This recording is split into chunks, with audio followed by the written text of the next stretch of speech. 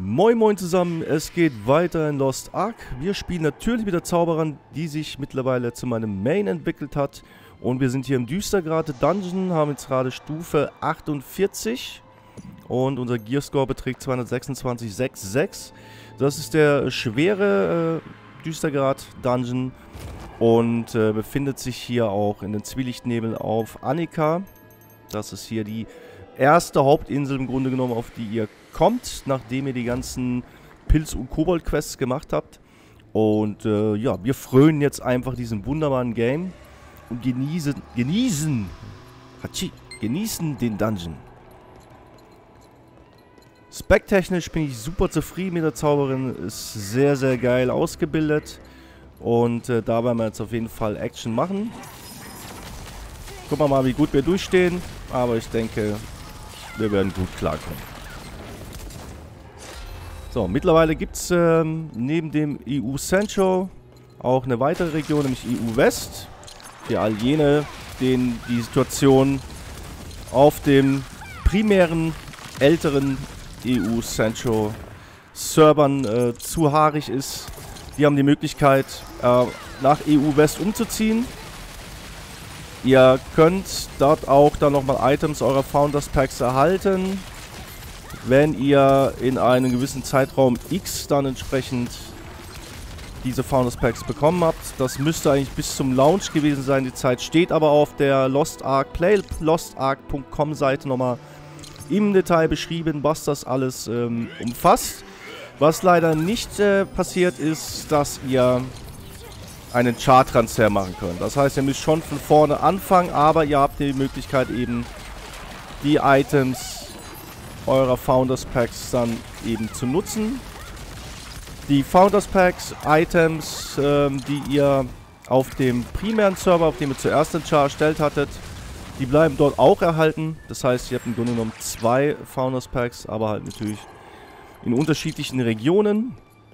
Und ähm, als ich das letzte Mal geguckt hatte, sah der Stand noch auf der EU-West-Seite sehr, sehr gut aus. Das heißt, äh, da könnt ihr schon eher damit rechnen, dass ihr da keine bis sehr geringe Queues habt. Ich bin mal gespannt, wie sich das entwickelt. Ob die Leute da entsprechend auch mitziehen oder nicht. Das ist immer so die Frage. Da halt eben kein Charttransfer am Start ist. Vermutlich werden aber eher dann die Leute, die noch nicht seit dem Headstart dabei sind, und schon viel Zeit investiert haben in ihre Chars, äh, da dann äh, vielleicht eher die Tendenz dazu haben, äh, auf diese anderen Server zu wechseln. Es bleibt zu hoffen, denn aktuell immer noch äh, zu High Times, also unter der Woche hat man abends Queues zwischen 12 und 16k, am Wochenende stellenweise auch tagsüber bis zu 18k, zumindest mal hier auf Asta. Äh, da geht schon äh, gut Action. Das muss man mittlerweile, muss man sein Real Life um diese Queue-Times rumplanen. Äh, ich habe stellenweise die schnellsten Supermarkt-Runs äh, meines Lebens äh, mittlerweile hinter mir.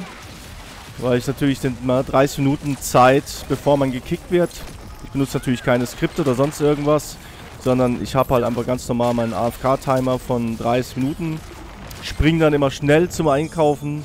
Gehe schnell einkaufen und äh, hoffe, dass ich nicht irgendwo noch in der Kassenqueue stehe. Was natürlich gerne mal dann auch gerade dann passiert, wenn man eben Lost Ark zocken möchte. So, das hier ist ein wunder wunderschöner Dungeon.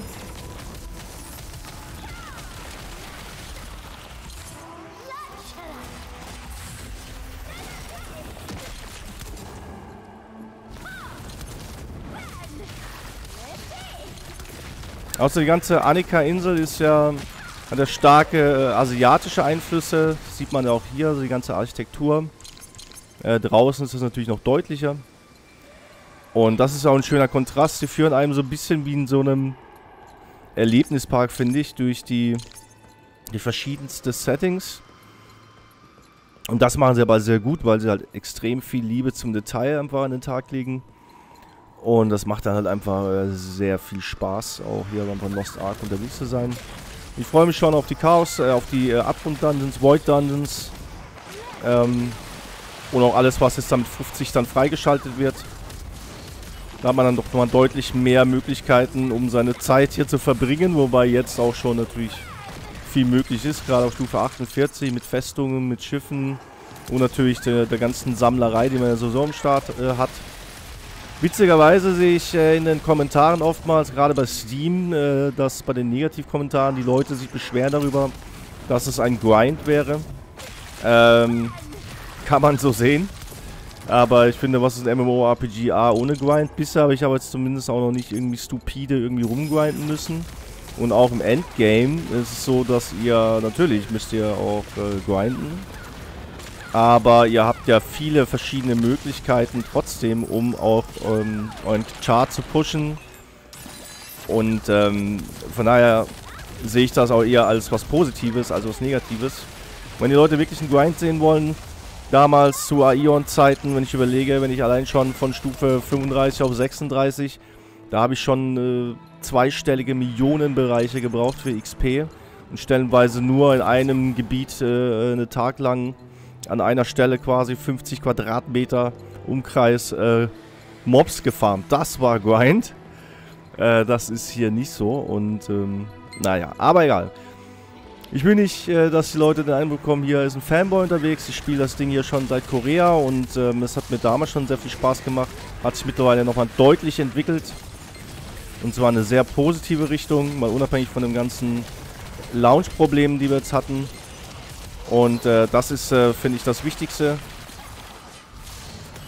Alles andere ist dann halt Geschmackssache. Es gibt natürlich noch genug andere MMOs auf dem Markt. Wer damit nicht zufrieden ist, wechselt einfach auf ein anderes MMO und der Käse ist gegessen. Vier brauchen wir noch. Da sind sie. Und man sieht ja, die schenken gut ein, ne? Also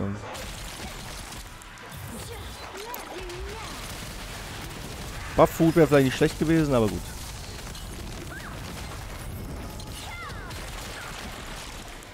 Einer ist noch da. Wo ist er? Wo sind die Mokoko Seeds? Aber irgendwas zum Buffen. Wir könnten noch ein Bier nehmen. Trinken wir ein Bier. Das ist das einzige Buff, was wir jetzt noch haben. Bisschen Geschick.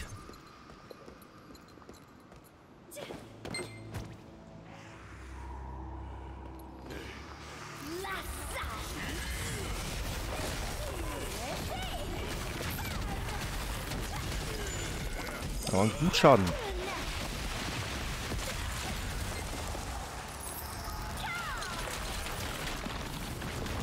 Er hat daneben gerotzt, das ist immer das Beste.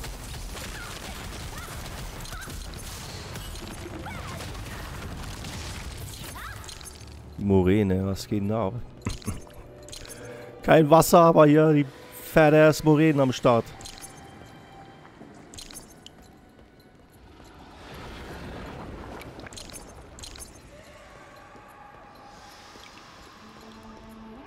Die Soundkulisse ist einfach super deluxe, auch diese ganzen Details.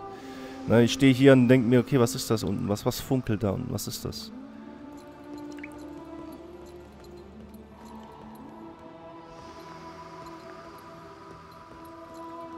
Dieser strange, alienartig geformte Boden so. Also die ganzen Dungeons, ich liebe die Dungeons einfach. Die Dungeons sind super deluxe. Auch die Bossfights äh, machen, machen gut Spaß. Sie sind jetzt nicht außergewöhnlich. Es gibt natürlich ab und mal so ein paar Bossfights, die dann doch schon mal ein bisschen anders sind. Also im Vergleich zu dem, was man sonst so kennt. Da gibt es jetzt keine Innovation, finde ich, aber ähm, die Bosse haben zumindest auch eine erkennbare und gute Mechanik. Und das ist schon extrem wichtig.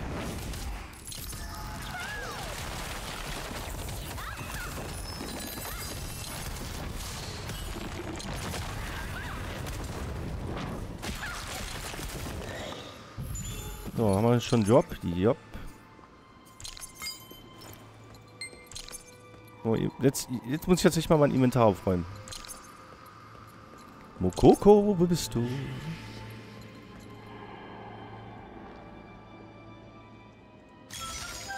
Das ist sogar unsichtbar, das Ding. Guck mal an. Wie böse wir. Es gibt stellenweise gibt's Mokokos, bei denen ich ohne Guide, also bisher schaue ich noch nicht auf Guides, wo irgendwie die Mokokos liegen, auf Interactive Maps und sowas. Und es gibt Mokokos, wo ich mich echt frage, wie zum Geier soll ich an diese Mokoko rankommen. Ja, und auch alleine, äh, Achtung, Spoiler, in der ersten Kathedrale, ähm, nach dem Prolog, das muss man erstmal auf die Idee kommen, die Wände so entlang zu laufen, dass man da dann entsprechend äh, einfach durchflippt, wie, wie damals bei Doom. Oder Duke Nukem 3D war es auch so. Aber bei Doom war es ganz hart, weil da war es ständig so, ich bin dann irgendwann ja nur noch die Wände eigentlich abgelaufen, habe die ganze Zeit halt die Benutzen-Taste gedrückt, weil überall konnte äh, in irgendeiner Wand konnte ein Geheimgang sein, der dann eben uns zu äh, weiterem Loot geführt hat. Ne? Bei den Mokoko ist es für die noch, noch übler, weil stellenweise noch Mechanismen hinten dran stehen. Zerstöre XYZ. Oder für die bestimmten Barrikaden, bei denen man dann einfach eine ganze Truppe braucht, um dann dauerhaft Schaden zu machen. Weil eine Barrikade äh, quasi die HP hat eines World Bosses. Äh, ja, das ist die sadistische Ader von Smilegate, definitiv. Aber es ist halt eine gute Idee. Gerade die Mokoko Seeds, finde ich, ist halt ein gutes Mittel. Ähm, also ich bin auf jeden Fall gehuckt. Ich will die Mokoko Seeds. Es lohnt sich ja auch, aka Abenteuerbuch und auch Sammlerstücke. Aber auch äh, der Vorteil, den ich dann sehe, ist halt, dass ihr... Also ich achte dadurch deutlich mehr auf meine Umgebung. Also im Detail und entdecke dadurch viele Sachen, die sie umgesetzt haben. Die ich so vielleicht gar nicht im Tran sehen würde. Ne? So haben wir eine Kampfesmut unterwegs. Wie oft bleibt man dann stehen und guckt sich mal das alles so genau an, was sie da so liebevoll gestaltet haben. Das ist nicht so häufig. So, wie weit sind wir entfernt vom letzten Punkt? Was nicht immer ein Gradmesser ist. Siehe Grab des Königs, da denkt man am Anfang auch, hier Friedhof-Map. Und denkt, okay, ist aber ein kurzer Dungeon. Wenn du am Ende ankommst, ist erstmal Action-Time mit dem Drachen, ne? Wie aufregend. Du hast unsere Abmachung nicht vergessen. Oder? Suppus. Ich erinnere mich. Was tust du da? Die verarschen. Leid. Aber du wirst Teil der Hölle.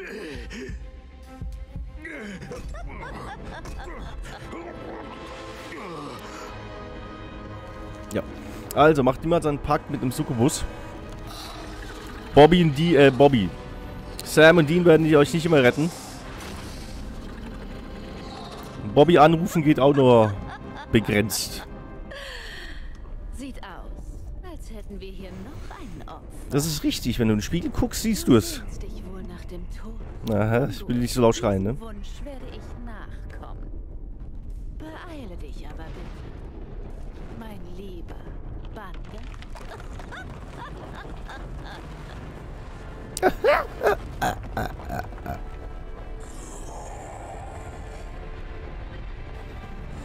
Yes! Give it to me. Nice. Wundervoll. Screenshot Time. Yin-Yang Style. So, jetzt checken wir erstmal seine Mechanik. Movement, Movement, Movement, Movement. Okay, okay. Macht ja einen auf Buddha Ninja. Nicht verwechseln mit Butter Ninja, das ist noch ein bisschen was anderes.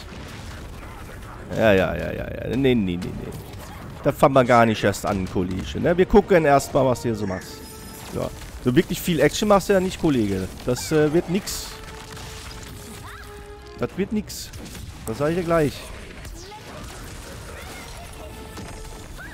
So, kann man schön äh, Schaden machen, weil er doch meint, er muss nicht allzu viel Action machen.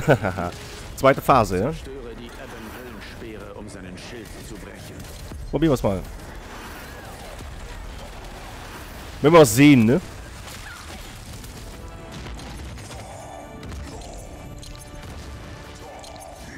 Wo bist du denn?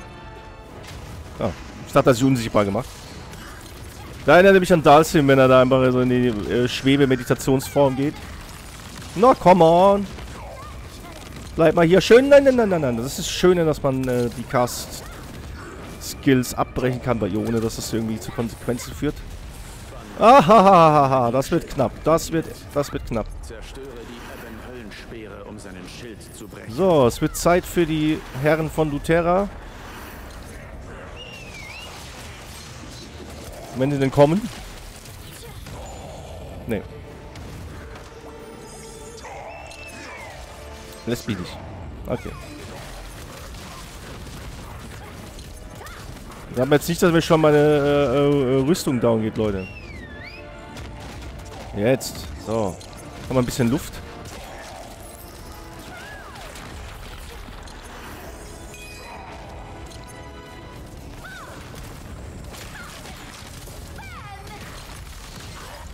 Zack. Aber war knapp. Soldaten hätte ich gar nicht gebraucht. Hoho. Das war mein Geschenk für Meister Casaros. Ja. Was hast du gedacht, was passiert? Nein, du hast es ruiniert.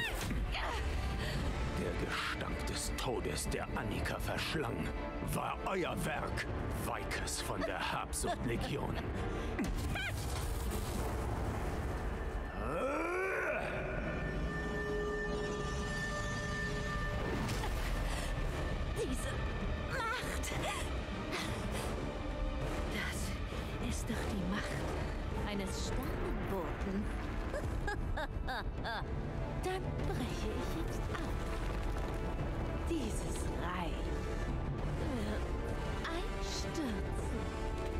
Ihm doch Gesellschaft.